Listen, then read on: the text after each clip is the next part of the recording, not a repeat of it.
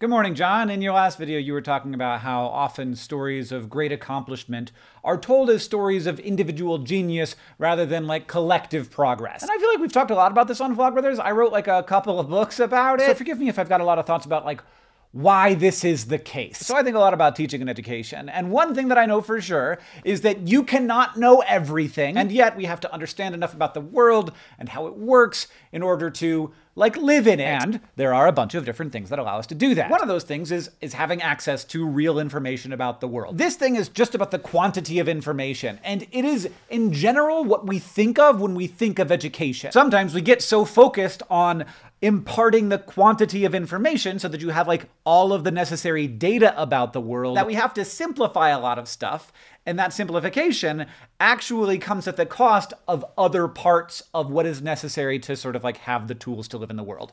Let's have an example. When it comes to the invention slash discovery of the smallpox vaccine, there are like three things that you should know. One, smallpox was very bad, but we cured it. Second, we did that with a vaccine basically that's very much like the vaccines that we use today that work by exposing people to an attenuated form of the pathogen. And third, there was a person who figured it out some way. And those first two things are facts that are important to have in your head. But the third thing is just a story. And I think oftentimes we simplify stories to make them good so that we can have like context to hang these important important facts on. We do this a lot in education, and I don't think it's a problem. Simple stories, especially good ones that fit into established frames that people are familiar with, are really good ways to help people remember stuff. But it turns out that the story itself is doing a ton of work in the overall scheme of what education should be doing, which is like giving you systems with which to understand and interface with the world. And as I said a moment ago, you may have forgotten, we've been all over the place. Quantity of like bits of information is only one part of education. Education also gives us lenses through which to understand the world, and those lenses are often stories. They also give us shared lenses, shared knowledge, shared values, shared worldviews, all of these things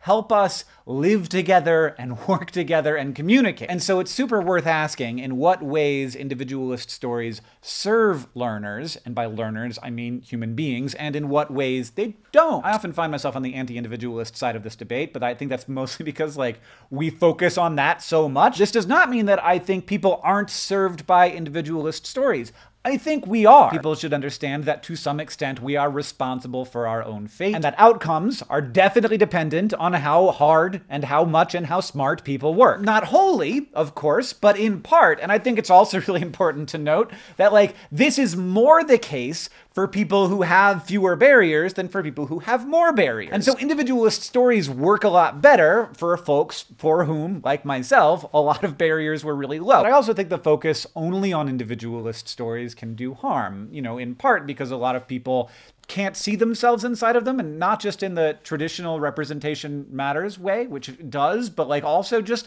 in the way that many people have barriers that other folks don't have. That's something to fight against but it's never going to be something that we are entirely free of. And so i think it's important to like have stories that recognize the fact that nobody does anything alone and also nobody contributes not at all. Like if only through conversations we have with our friends and family everybody adds something to the human story. So obviously we should fight against the urge to individualize every accomplishment accomplishment that happens. But also, we need to teach people that we are, at least to some extent, responsible for our own destinies. We need to remember that the stories we tell aren't just tools with which to learn things, they are the thing we are learning. And also, we should know that acknowledging, or in my case, reveling in the fact that nothing is possible without the contribution of millions of people, both alive and dead, is good. That doesn't lessen individual accomplishment, it should increase our pride in our ridiculously badass species. John, I'll see you on Tuesday.